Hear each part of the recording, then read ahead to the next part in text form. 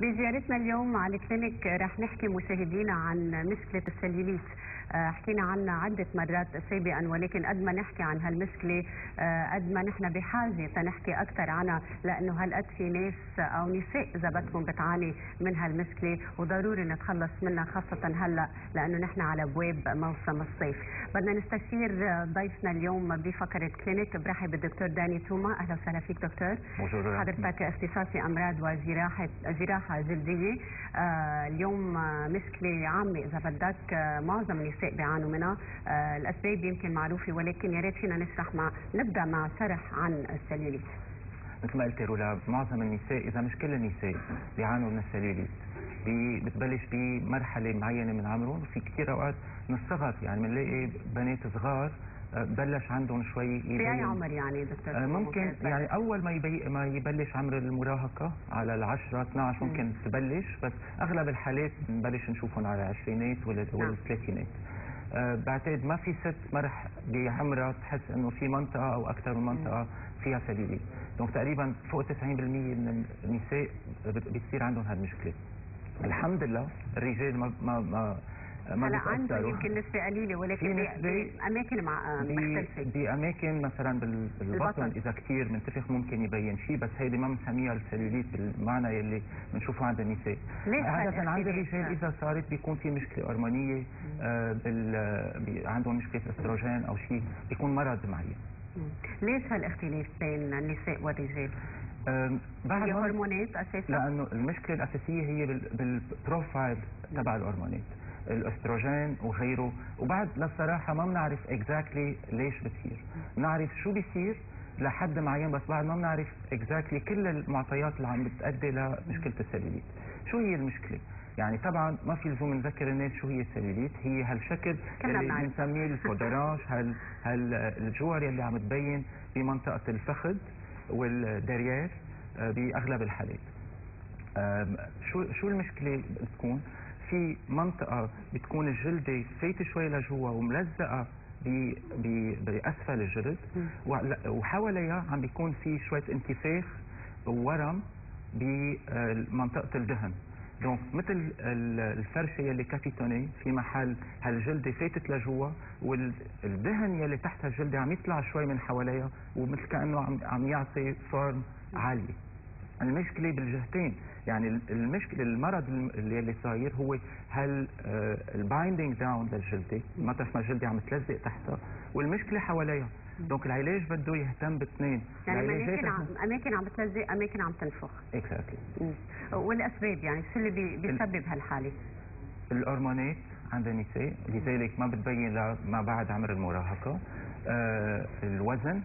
طبعا كل ما زاد الوزن كل ما زادوا الدهون كل ما زادت هالمشكله بحوالي ال capitonnée. أوقات قلة الوزن كمان رجيم قاسي بيبين السليليت أكثر donc لازم كل كل ست عندها وزن معين لازم ما تزيد عليه ولا تنقص عليه تكون بس إذا بدنا نعالجها من جهة الوزن تكون عندها هال fine line بوزنها. آه، في الورم في كثير ناس بينفخوا خاصة إذا أخذوا ملح. donc قلة الملح بتفيد. آه، معالجة الورم كثير مهمة حسب آه، آه، جسمهم في ناس عندهم شرايين بتورم عندهم جسمهم بيورم على الشوب أما على الأكل المالح أو غيره. donc في كثير عوامل بتأثر وراثة لها دور وراثة كثير مهمة. نعم. يعني, يعني في ناس ما عندها؟ عادة البنات رح يطلع كمان للأسف. طيب أسباب لنا آه، عديدة آه، في عدة عوامل بتلعب دور.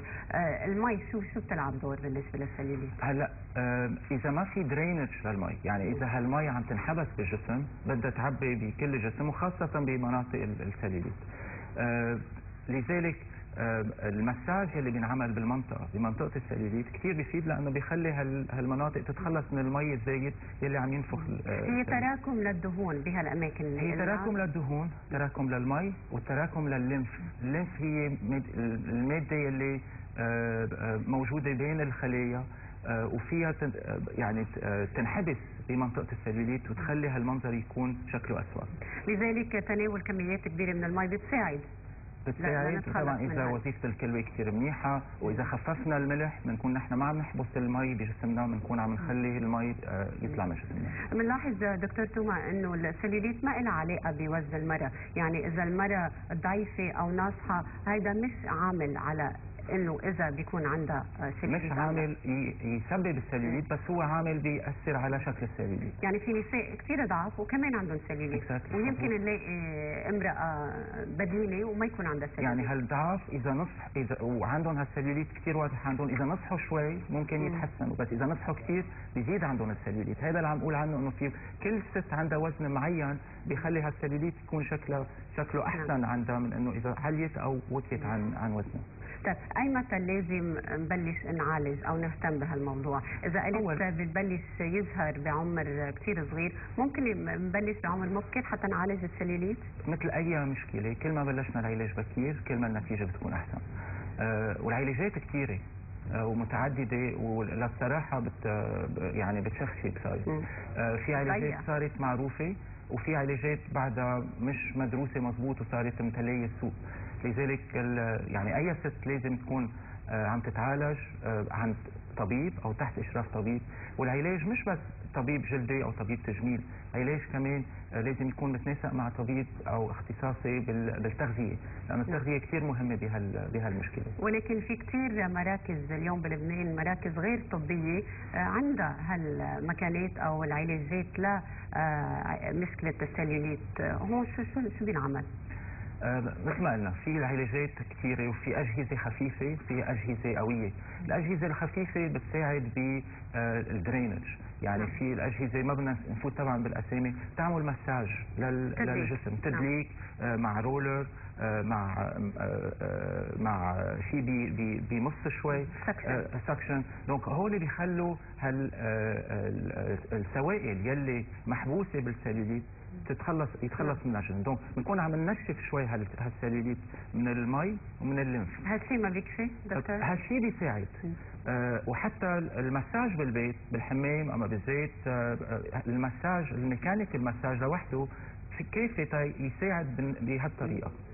طبعا ما في علاج واحد كافي. آه وكل شخص بده يتعالج على كذا صعيد لنشوف النتيجة الأحسن. ال diet ال mechanical massage نعم. إذا على الإيد أو أما بجهاز معمول آه، عند آه، آه، من هالمراكز أما إذا حكينا بالأجهزة الطبية اللي متقدمة نعم. هلا اليوم دكتور توما في معظم شركات مستحضرات التجميل عندها كريمات بتقدمها نعم. للسليوليت شو رأيك فيهم؟ الكريمات ال- بالزمان كانت المشكلة إنه الكريمات ما بتفوت بجلد بس اليوم الكريمات صارت أحسن وفيها مواد مثل الكافيين أو غيرها يلي هي بتساعد كمان هالمي تطلع من هالمناطق السليوليت وفي لها إفادة وطبعا مع الوقت عم تتحسن أكثر العلاج شو بده يكون؟ علاج قلنا بدنا نساعد هالكترة المي تطلع من مناطق السليوليت صار في الأجهزة يلي سهلة آه، آه، ويلي منا طبية آه، بال آه، مثل ما بنقول طبي آه، يلي بتساعد. هلا الأجهزة يلي أقوى من هيك هي أجهزة لازم تستعمل تحت إشراف طبي أو بإيد حكيم لأنه فيها مشاكل ممكن تصير. آه، بس شو بتعمل؟ فيها أما ليزر أما radio frequency عم بتخلي الج- الجلد يشد على حاله ويكبس مناطق ال- السلوليت ويفوت لجوا طبعا آه، لأنه ليزر ولأنه radio frequency إذا ما صار الاستعمال مثل ما لازم هيدي الأجهزة ممكن تحرق نعم. ممكن تخلق مشاكل لذلك لازم تستعمل تحت إشراف طبي. وللأسف آه، بلبنان وبغير بلدان عم تستعمل بدون إشراف طبي وهون أما ما عم بيكون في نتيجة أما عم بيكون في مشكلة مشاكل غير منتظرة صح هلأ بمنطقة ال dimple مطرح ما في هال. الجوره اللي شايفة آه شو ما عملنا ليزر؟ منه كافي. لازم هالجورة آه آه ينعمل لها شيء لتطلع شوي من محلها. وفي؟ في مثل جراحة صغيرة ممكن بمثل ال- ال- ال canule تبع ال liposuction واحد يقدر يشيل هالتلزيق بين الجلد وال- والانسجه اللي تحته حتى ترتفع شوي الجلدة وبيتحسن الشكل العام. بفهم منك دكتور توما إنه آه، علاج واحد ما بيكفي لوحده. ابدا ابدا. العلاج لازم يكون تغذية لازم يكون المساج في المنطقة. آه إذا استعمل الليزر أو radio frequency بيساعد آه، والدراسات بتفرجي إنه في تحسن. لكن التحسن عادة هو بالسيركمفرنس تبع مثلا الفخذ اما الدريات أكثر من إنه هو هالتضاريس كثير عم تتحسن. يعني الناس ما لازم تستنظر إنه السلوليت رح تروح.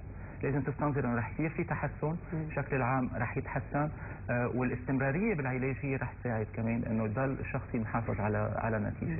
يعني ما فينا نتخلص من هالحالة نهائيا؟ للأسف الطب تحسن آه، وتقدم بكثير أشياء سلوليت عم نقدر نحسن وأكيد في أمل كثير إنه بالمستقبل حتى بكريمات أو حتى بأدوية. لأنه اليوم حتى في أدوية للضغط ممكن عم نلاقي إنه ممكن. تساعد آه، في أدوية آه، في دراسة إنه مثل الفياجرا إذا استعمل بكريم بالمستقبل ممكن يساعد دونك المستقبل أكيد رح يساعد رح يساعدنا نلاقي نتائج كثير نعم. أحسن بس اليوم الناس لازم توعى إنه آه، مش كل إعلان على الطريق للسلوليت معناتها النتيجة رح تكون 100% علاجات طبعا مكلفة في كثير ناس ما عم تكون مبسوطة. وفي علاجات طبعا كثير منيحة. على طول تحت إشراف حكيم إشراف طبيب التغذيه أو طبيب تغذيه نتائج عم بتكون مقبولة. وسط هالخيارات الواسعة دكتور توما كيف ممكن نختار العلاج المناسب لنا؟ آه، بدنا نشوف طبيب. آه، بدنا آه، آه، ننتبه على صحتنا نعمل رياضة لأنه ما حكينا بالرياضة بعد. نعم. طبعا شد العضل يلي تحت الجلد بده يساعد بس هيدي مشكلة جلدية. بس الرياضة كمان بتخلي الجسم يتخلص من. ال- نعم. ال fluid يلي زايدة من هالمواد ال... ال- بتسرع الحركه الدمويه كمان طبعا كل هالأمور آه، آه، بتساعد donc it's global lifestyle change اللي بده ينعمل حتى كمان نساعد بال- بالسلوليت ملاحظة آه، اليوم يمكن الناس صارت سامعة بقرار طلع بفرنسا لتوقيف ال- الميزوثيرابي نعم. لتوقيف ال- ال carboxy بعض العلاجات كثير من العلاجات من ودي السلوليت. كثير أشياء آه، فرد مرة. آه، الأخصائيين بهال بهالمجال آه، يعني لاحظوا إنه يمكن صار في تسرع بهال بهالقرار مضبوط في كثير من العلاجات يلي كثير هلأ مستعملة. آه، ومنها الميزوثيرابي في لها خطورتها والناس ليش؟ لازم وقفوها تنتبه؟ لها. لأنه صار في مشاكل من بجهة infections أو آه، آه، يعني التهابات صارت أما آه، آه، نزيف قوي أما آه، تجلط آه، تجلط هون الدم. علاجات بتشتغل على سطح الجلد هول علاجات عم ينعطوا تحت الجلد آه. بطبقة الدهون. donc بكثير أوقات هالعلاجات ما عم تنعطى من قبل حكيم ولأنه ما عم يكون في إشراف طبي عم تصير المشاكل. وهالمشاكل اللي صارت خلت بلد كبير مثل فرنسا يقرر هيك قرار قرار. طبعا برجع بقول لك يمكن صار في تسرع إنه القرار شمل كثير أشياء بنفس الوقت. اليوم بنعرف إنه في lasers أكيد عندها ال FDA وبتشتغل بشكل منيح. كمان انشملت بهالقرار. نحن بلبنان بعد ما صار في قرار بهالموضوع وهالموضوع عم يندرس عم يندرس بدقة تيصير في قرار فيه. نعم. آه ورح يصير في قرار قريبا. بس until then لهالوقت الناس لازم تنتبه شو عم تعمل وين عم تروح وكيف عم يكون العلاج عم ينعمل هالعلاجات بعدها موجودة عندنا بلبنان. طبعا. وين ما كان. فرنسا. وين ما كان. طيب آه، حكينا عن دور المي. هل ممكن نتعرض للشمس نحن وعم نعمل علاجات للسلوليت بي- إيه لأنه العلاج ما إنه سطحي. donc العلاج عم بيكون تحت الجلد والشمس ما رح تاثر عليه. التقنيات والمكانات المتوفرة عندنا بلبنان بنفس التطور اللي موجودة خارج لبنان أول ما تطلع مكنه بالعالم كوني اكيده بتوصل على لبنان. وللأسف بكثير أوقات قبل ما تكون اتطورت مزبوط وقبل ما تكون صار في دراسات كاملة وشاملة عليها بتكون عنا وأوقات على لبنان عم يكون حق التجارب. لذلك الناس بدها تكون واعية لهالموضوع وتتأكد إنه اللي عم تعمله طبي وصحيح وسليم. هالعلاجات آه، قد إيه ممكن تاخذ وقت قبل ما نبلش نشوف نتيجة؟ بي- في أوقات في أجهزة آه، بعلاج واحد بتحسن آه، في أجهزة لازم تتعمل على 6 أو 12 جلسة. ب- بجميع الأحوال جلسة واحدة مش كافية لأنه بتكفي. المشكلة منا مشكلة infection وحليناها. مشكله هي anatomy فيها مشاكل آه، فيها التكلس فيها ال- الورم. donc آه، بدنا استمرارية بالعلاج. النتائج ممكن تختلف بين شخص وآخر. طبعا. مم.